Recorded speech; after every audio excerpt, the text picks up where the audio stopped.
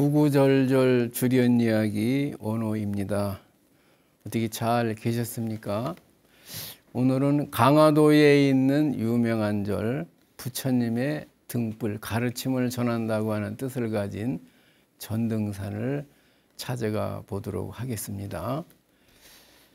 전등사에 가면은 2층 누각이 있는데 전면에는 전등사라는 현판이 있고 그 누각 아래를 통해서 통과해서 법당 앞으로 들어가서 뒤돌아서서 보면 누각이 대조루라고 되어 있습니다. 이 대조루에 올라가면은 서해 바다가 한눈에 쫙 보입니다. 바다는 늘 이렇게 파도가 일어나고 또 빠졌다 들어왔다 밀물 썰물이 일어납니다. 그것을 조류라고 합니다. 조류를 대하는 누각이다 이런 뜻입니다. 그 대조로에 있는 누각을 오늘 한번 살펴보도록 하겠습니다. 종일 무망사하니 하루 종일 바쁜 일이 없으니 자 요게 이제 바쁠 망자입니다. 종일 바쁜 일이 없으니 향을 사르고 일생을 지냅니다. 이 뜻입니다. 우리 몸을 집에다 비유한다면은 창문이 여섯 개가 있습니다. 이 마음이 이 여섯 개의 창문을 통해서 눈을 통해서 세상을 보고 귀를 통해서 세상 소리를 듣습니다. 코를 통해서 향기를 맡고 입이 맛을 봅니다. 말을 하고 몸이 촉감을 느낍니다. 그럼 의식이 이것을 종합을 해가지고서 좋다, 나쁘다, 옳다, 그르다, 파랗다, 노랗다, 가지가지의 분별을 일으킵니다. 그래서 이 여섯 개의 우리 몸에는 창문이 있는데 이 마음이 여섯 개의 창문을 통해서 바깥으로 돌아다니고 있는 겁니다. 나는 돌아다 보지 않고 눈, 눈이 가는 데를 계속 이렇게 갑니다. 눈을 따라서 갑니다. 귀를 따라서 갑니다. 향기를 따라서 온 세상을 돌아다닙니다. 나를 돌아다 보지를 않습니다. 옛날에 이런 말이 있어요. 집안에 뭐 때거리가 떨어졌는지, 뭐 애가 뭐 잘 크는지 전혀 관심이 없고 건달이 그저 술 마시고 논다는 뜻입니다. 마찬가지로 우리는 내 몸을 살피지 않고 바깥으로만 평생을 돌아다닙니다. 근데 그것이 너무 바빠요. 예, 매일 바쁘다고 그럽니다. 그러니까 어느 날, 어, 내가 벌써 30인가? 내가 벌써 50이야? 깜짝깜짝 놀랍니다. 나를 쳐다 관심을 가져본 적이 없기 때문에. 내가 얼마나 몸이 상태가 어떤지, 예? 내 몸이 나이가 몇 살이 되어 가는지 전혀 관심이 없어요. 바깥으로만 끊임없이 돌아다닙니다. 그래 바빠요. 예. 종일토록 예. 바쁜데 이 절에서는 자 종일토록 바쁜 일이 없으니 분양과 일생이로다 향을 사르고 일생을 보냅니다. 돈이나 명예나 출세나 에, 사랑에 그 외부 세계에 걸리지 않고 나를 찾는 것을 수행이라고 합니다.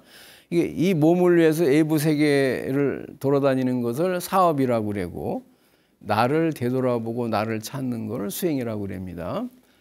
그래서 여기서 향을 사르고 일생을 보냅니다. 이 말은 독경하고 연불하고 기도하고 참선하고 울력하고 절에서 일어나는 모든 그냥 향자에다 다 집어넣은 겁니다. 향을 사르면서 참선도 하고 예불도 하고 독경을 하면서 일생을 보냅니다. 이것이 수행입니다. 산하는 천안리하고 산과 강은 천안 속에 들어있고 남자는 남자의 눈을 가지고 있고 여자는 여자의 눈을 가지고 있습니다.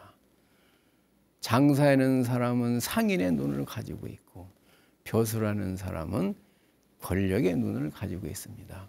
돼지는 돼지의 눈을 가지고 이 세상을 보고 부처님 눈에는 모든 사람들이 다 부처로 보입니다. 이것을 육안이라고 합니다. 다 눈이 있는데 육체에 있는 눈을 가지고 삽니다. 불교에는 오안이 있는데 육안, 천안, 해안, 법안, 불안이라고 합니다. 그러니까 여기 천안이 나왔어요. 산과 강은 천안 속에 있고. 그럼 천안은 어떤 사람이 가지고 있는 눈이냐? 우리는 욕계, 색계, 무색계를 윤회를 합니다. 삼계 육도를 윤회를 하는데 요 천상 세계에 태어난 사람이 가지고 있는 눈이 천안입니다. 이 천안은 그럼 어떤 눈이냐? 이 천안은 멀고 가까운데 지배를 받지 않습니다. 여기 지금 수체도에서 이 앞을 쳐다보는데 이그 뒤는 보이질 않습니다. 이 천안이라는 것은 서울에서 부산이 아니라 뉴욕이 아니라 은하계까지 보인다는 겁니다. 거리의 제한을 받지 않습니다. 굉장한 눈이죠. 요즘에는 이제 뭐 어, 천문학 무슨 안경을 가지고 보면 은하 세계가 다 보이죠 요새는. 근데 천안이 그렇게 멀리까지 이 삼남한상 은하계가 다 보이는 눈이 천안입니다. 거리에 상관이 없고 또 앞에 건물이 한 채 있으면 앞면을 앞면은 보이지만은 뒷면을 우리는 보지 못합니다. 뒷면까지 보인다는 거예요. 앞면, 뒷면까지 보이고 그다음에 상하가 보입니다. 저 히말라야 산이 있으면 파리에 에펠탑이 있으면 그 꼭대기가 밑에까지가 다 보인다는 거예요. 서가지고서 상하가 보이고 이 삼천대천 세계에 그 먼지와 같은 많은 나라가 있는데 그 나라의 산이나 강이나 사람이나 색깔이 다 보인다는 거예요. 그 기후가 보이고 거기 사는 사람들의 마음이 기쁜지 즐거운지까지 다 보인다는 겁니다. 우리 눈에는 햇빛이 없으면 보지를 못합니다. 근데 천하는 주야로 보인다는 겁니다. 낮에도 볼 수 있고 밤에도 볼 수 있고. 아나율 존자가 부처님한테 법문을 듣다가 듣다가 자주 졸았던 모양이에요. 하루는 부처님이 야단을 쳤습니다. 너는 이렇게 맨날 조느냐? 그러니까 이 아나일 존자가 결심을 합니다. 절대로 내가 졸질 않겠다. 예, 그래 너무 지나쳐가지고 일주일간 잠을 안, 자, 안 자고 수행을 했다는 거예요. 그러니까 그만 눈이 멀어버렸어요. 육신의 눈은 멀어버렸는데 동시에 천안을 얻었다고 합니다. 범천이 그 수화를 드리고서 아내를 찾아가지고 왔습니다. 천안의 세계는 어떻습니까? 그러니까 아, 제 눈에는 삼천대 천세기가 다 보입니다. 이 아나율은 또 그랬습니다. 새가 허공을 날아갔는데 그 새 발자국까지 보인다는 거예요. 그게 천안입니다. 해안, 법안, 불안은 그건 아직 얘기를 할 수가 없습니다. 자, 그래서 오안이 있는데 첫째는 육안이고 두 번째는 천안입니다. 산하는 천안 속에 들어 있다. 우리 요 눈동자는 재면은 얼마나 될까요? 깨알 만큼 작지 않습니까? 이 작은 눈 안에 이 우주가 다 보이잖아요. 끝없이 보이지 않습니까? 이 대단한 겁니다. 눈의 시력이라는 것이. 그러니까 이 산하는 눈안 속에 있다는 거예요. 세계는 법신 중이로다. 이 세상은 법신 가운데 있다. 저는 목련꽃을 굉장히 좋아합니다. 봄이 되면 한 유백색의 꽃을 피웁니다. 젖빛처럼 하얀 색깔이다 그래가지고 유백색이라 합니다. 너무나 이뻐서 하, 어떻게 이 나무 속에서 이런 이쁜 꽃이 필 수 있을까? 제가 나무를 쪼개봤습니다. 아무것도 없어요. 그 투박한 나무 속에서 이 꽃을 피우는 겁니다. 이 기적 아닙니까? 매일 기적이 일어나고 있는 거예요. 그러면 이 꽃을 갖다가 사라고 합니다. 내 눈에 보이고 귀에 들리고 내 코에 들어오는 냄새라든가 좋다 나쁘다는 모든 느낌이라든가 삼남한상, 삼남한성 일체 모든 존재를 한마디로 사, 일사자를 씁니다. 그러면 꽃을 피우게 하고 추나 추동을 운행하고 새가 하늘을 날아가게 하는 그것은 뭐냐? 그걸 법신이라고 합니다. 그것을 생명이라고도 하고 진여라고도 하고 실상이라고도 합니다. 그 생명의 본질 그것을 이라고 그래고 요 나타난 세계를 사자를 씁니다. 그래서 이, 이 세상은 법신 속에 예, 법신이 나타난 현상이라는 겁니다. 사라는 겁니다. 세계는 법신 속에 있도다. 청조문면성하고 우리는 새 소리를 들으면은 그 소리에 끝없이 딸려갑니다. 근데 요 새 소리를 듣는 그놈이 뭐냐 이거예요. 그 마음. 그 새 소리를 듣는 성품을 밝히고 가나 오색공이라 꽃을 보면 우리는 꽃이 빨갛다 좋다 이, 이 생각만 하지만은 이 꽃이 지금 존재를 하지만 언젠가는 없어지잖아요. 색적 시공 공적 시색이라 그랬잖아요. 반해식명에. 그러니까 이 꽃이 없어져 가지고 공이 되는 이치를 깨닫는도다. 색과 공이 둘이 한 이치를 깨달아내는 겁니다. 명월은 정 중심하고 밝은 달은 삼매 가운데 들어있는 마음이고 저 하늘에 구름이 끼지 않으면 환한 달이 비칩니다. 달은 초생달이 된 적이 없습니다. 진 적도 없습니다. 늘 보름달로 둥글게 뜨고 있지만은 지구나 태양에 가려서 안 보일 뿐입니다. 근데 우리 마음이 구름이 거쳐진 그 달과 같다는 거예요. 명호는 정중심이라. 청산은 진해상이요. 푸른 산은 티끌 바깥의 모양이다. 우리는 예, 육안을 가지고 이 세상을 보지만은 법안으로 봤을 때는 이 청산은 우리가 보는 그런 세상이 아니라는 거예요. 영산은 다 백운하고 고개 위에는 백운이 흘러가고 흰 구름이 흘러가고 수중에는 유동해로다 요 소나 옥기 소매 속에는 동해가 들어있도다. 동해가 이 소매 속에 들어갈 수 있을까요? 그러나 이렇게 동해가 가리면 안 보이잖아요. 그 동해 속으로 들어간 거예요. 그 이치가 고기, 고개 위에 흰 구름이 흘러가는 거나 마찬가지라는 겁니다. 고월은 낭중번하고 애로운 달이라고 그랬어요. 애로운 달은 파도 속에서 부서지고 달은 하나잖아요. 그러니까 애로울 고자를 쓰는 겁니다. 애로운 달은 파도 속에서 부서지고 바구는 암제 속이로다 얇은 구름은 바위 속에서 바위 끝에서 잠을 자고 있도다.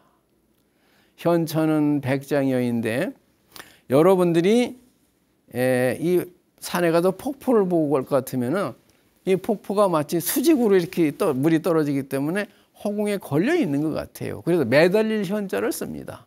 현천이라는 건 폭포예요. 폭포에서 물이 떨어지는데 그 길이가 백자라는 거예요. 백자라는 거는 30m가 넘는다는 얘기입니다. 그러니까 청사는 진의 색이요.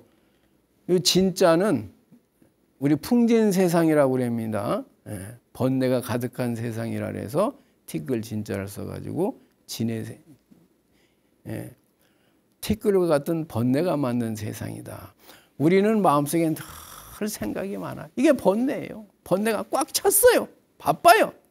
그래서 진세라고 그러고 모든 만물은 가루가 모여가지고 118가지의 원소가 불교에서는 네수로 줄였습니다만은 합해 가지고서 만들어졌기 때문에 이 티, 꿀과 같다는 거예요. 그래서 진세라고 그럽니다. 그러니까 법안으로 봤, 천안으로 봤을 때는 청사는 이 중생의 눈을 벗어난 세속을 떠난 모습이다. 이렇게 해석이 됩니다.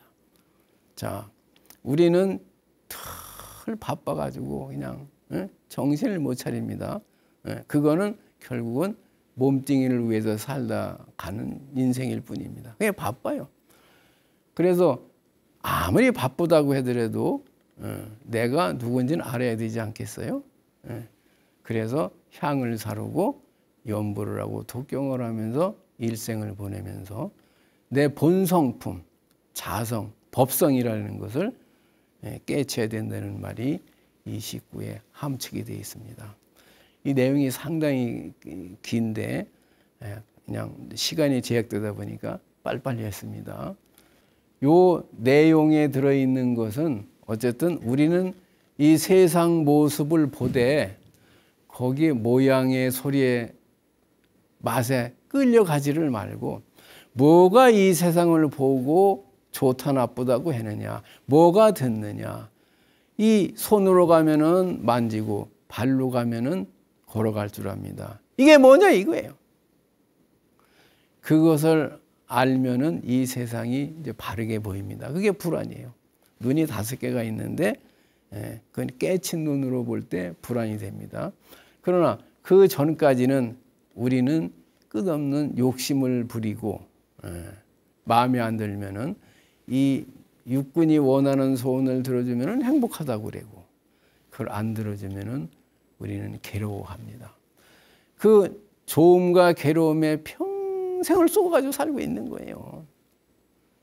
그러니까 거기에 쏙지 말고 바깥 세상을 끝없이 돌아다니지 말고 이제 향을 사르고 독경을 하고 참선을 해서 내 자신이 무엇인가를 깨쳐야 된다. 그것이 바로 부처가 되는 길입니다. 전등사 대조루에는 이렇게 열리구로다가 천안으로 다 이 세상을 본 소식을 해놨어요. 근데 어느 절에 가면은 여덟 구도 있고 열 구도 있고 순서가 바뀐 경우도 있습니다. 어쨌든 우리는 뜻만 취하면 됩니다.